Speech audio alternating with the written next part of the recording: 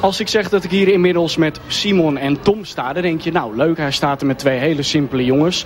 Maar als ik vertel dat het de twee grootste uit de line-up van vandaag zijn hier op Solar 2010, omdat het de audiobullies zijn, dan wordt het natuurlijk een heel ander verhaal. Guys, how are you? I'm good, man. How are you? I'm uh, uh, terrific. Later on, you're gonna uh, rock the show on the main stage. What can we expect from your show? Um, just me and Cy again, and uh, just a nice party.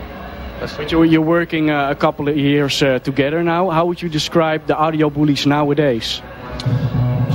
Uh, just, just, just like. Uh, oh, it's, hard, it's hard to explain music, isn't it? But still, a lot of yeah, a lot of energy and uh, just a banging sound. You know, the same as it's always been, man. It's al- always been about good melodies, good beats, and, and a bit of proper music. You know.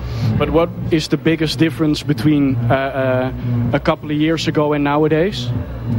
Um, it's taken us a little while to make an album, so we've been kind of tucked away working on that.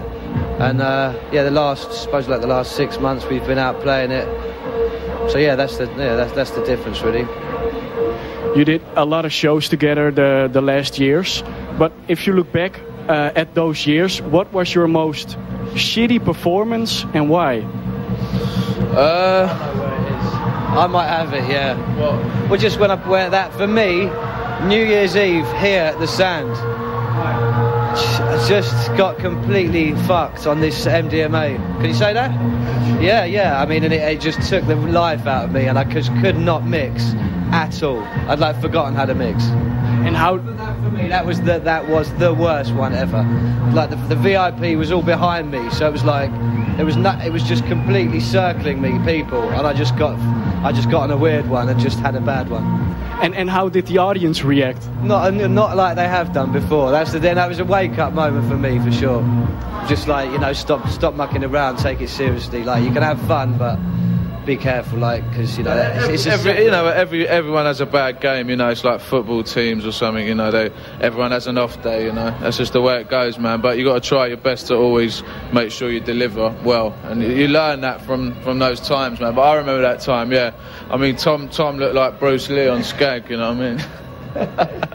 But your story brings me to the next question because so far the interview was nice, but now comes the most important qu- question of this interview because I've heard that one of you two is sort of uh, a, a Mariah Carey because you have uh, uh, special wishes on your rider and it's about a glass of milk.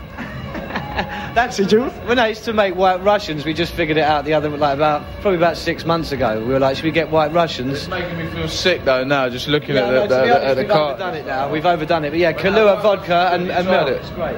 It's a good drink, man. It's a good drink. Yeah. What more uh, is standing on your rider? Not much really, man. I, I need to get a couple of bottles of champagne back on there again, man. It was that was all right. But you know what? I've been I, I haven't I, last few little times I've not been drinking so much, so I've gone off beer lately. I don't know why. It just kind of bloats me a little bit. You know, it just tastes too. The taste doesn't. It's not as nice as it used to be. You know. So um, yeah, vodka. Still like a bit of vodka, man. And have you ever tried to put something really stupid on your rider to see if they actually would get it for you? Um, I think that probably people that we've worked with started sneaking things on that were a bit. I don't know. I can't. We just took them off. No, not not really. We just get what we need, just drinks and. Who started sneaking what on? I'm sure there's just been some funny things that have What, like, appeared. what, like herbal tea. Just yeah, weird shit Yeah, I mean, that you don't the want. tour manager's like, yeah, you should have a cup of herbal tea before you play. It's like, fuck off. I'm not sitting there drinking herbal tea and honey. Do you know what I mean? It's not. I understand that in that option, milk is more rock and roll than herbal tea. You know, it's like people sitting there doing their voice exercises before they play and all that. You know, it's, it's rubbish, man. Now you ready for your uh, show? Always, yeah, always. I would say uh, thanks a lot for the interview. Go to the main stage. En uh, dan gaan wij nu gewoon kijken naar het optreden van de Audio Bullys.